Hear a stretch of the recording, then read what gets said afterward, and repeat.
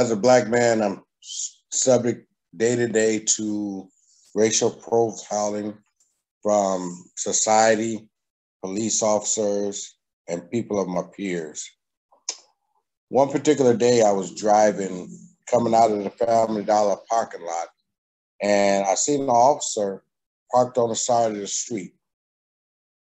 As I was passing the officer, he started following me for no apparent reason.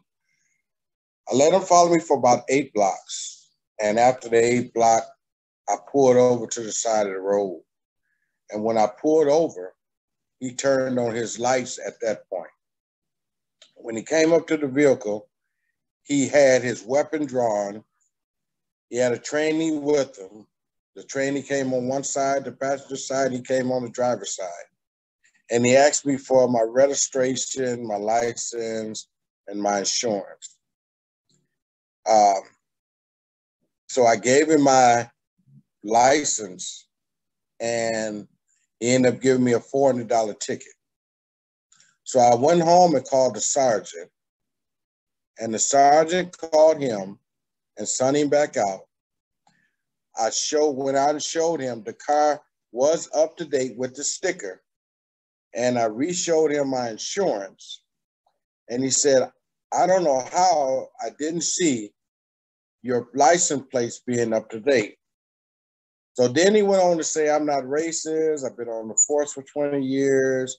And as he was talking, the trainee was just shaking his head the whole time because the trainee knew that he was wrong in the pursuit of uh, following me and stopping me and giving me the tickets.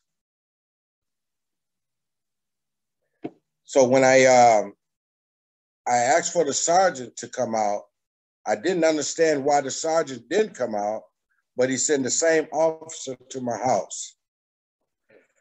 I felt that was a threat.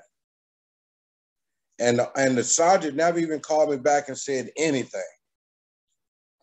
But the officer that came out that gave me the tickets, he said I could just tear the tickets up.